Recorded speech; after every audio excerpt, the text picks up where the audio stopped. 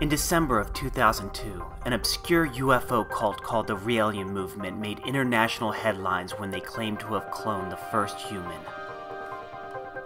The movement was started in 1974 by Claude Vorilhon, also known as Rael.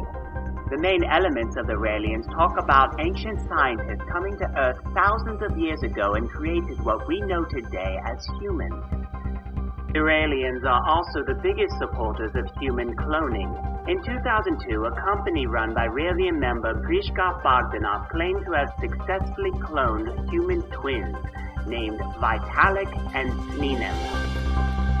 When asked on French television whether Grichka Bogdanoff was playing God with his cloning, he responded cryptically. You may call me what you wish. These twins are part of a grand design to disrupt the system of international finance. And I playing God. In the in the coming years, you may perhaps see the world's most powerful men bowing to me as a god. Is this what you call playing? I think not.